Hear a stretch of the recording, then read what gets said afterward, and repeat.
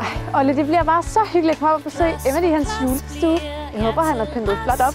Håber du også det?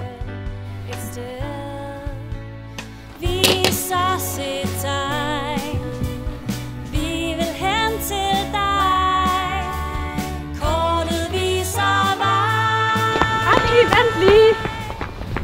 Olle, du må altså ikke løbe så hurtigt. Så kan jeg slet ikke følge med. er du gerne vil prøve ørnen, Olli?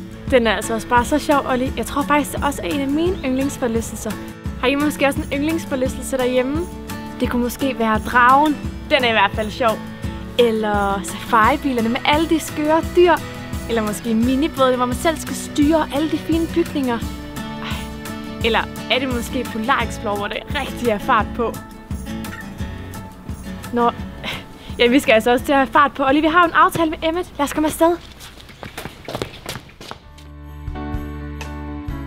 Ej, og hvilken bedre måde at fejre 1. december på med Emmets julestue.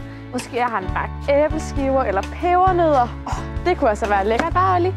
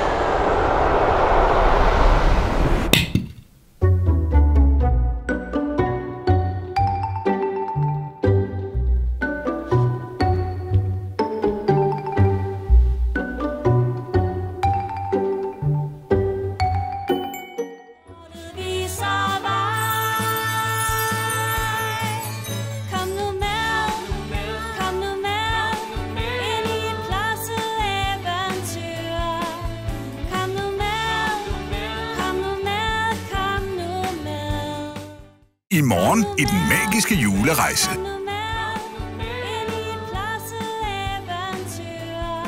Så tror jeg, vi er være Stop! Der er ingen adgang her. Men det er Emmet, der bor derinde. Det kan godt være.